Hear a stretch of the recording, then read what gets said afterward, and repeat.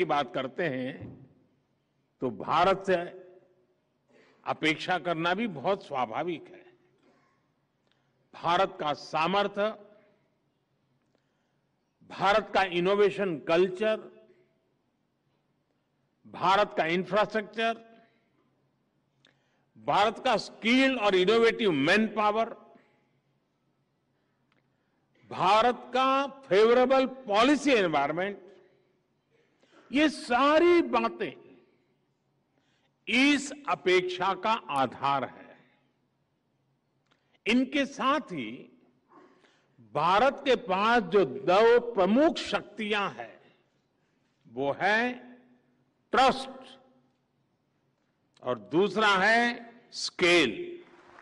बिना ट्रस्ट और बिना स्केल हम टेक्नोलॉजी को कोने कोने तक नहीं पहुँचा सकते और मैं तो कहूँगा कि ट्रस्ट ये टेक्नोलॉजी जो वर्तमान की है, उसमें ट्रस्ट एक पूर्व शर्त है।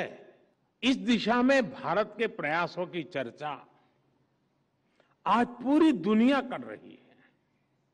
आज भारत 100 करोड़ मोबाइल फ़ोन के साथ most connected democracy of the world है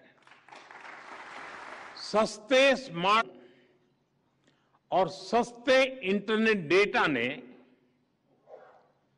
भारत के डिजिटल वर्ल्ड का कायाकल्प कर दिया है।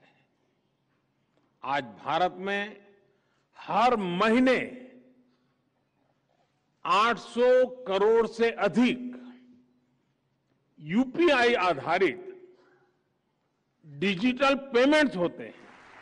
आज भारत में हर दिन सात करोड़ ई ऑथेंटिफिकेशन होते हैं।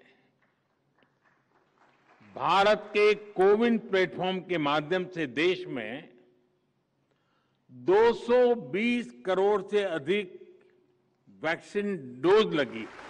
बीते वर्षों में भारत ने 28 लाख करोड़ रुपए से अधिक सीधे अपने सिटीजन्स के बैंक खातों में भेजे हैं डायरेक्ट बेनिफिट ट्रांसफ़र जनधन योजना के माध्यम से हमने अमेरिका की कुल आबादी से भी ज़्यादा लोगों के बैंक खाते खोले हैं। और उसके बाद यूनिक डिजिटल आइडेंटिटी यानी आधार के द्वारा उन्हें ऑथेंटिकेट किया और फिर 100 करोड़ से ज़्यादा लोगों को मोबाइल के द्वारा कनेक्ट किया। की बात कर